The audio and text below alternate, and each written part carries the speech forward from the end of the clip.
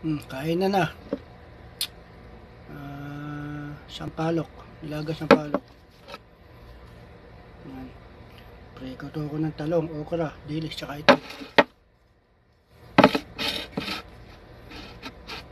Kain na na.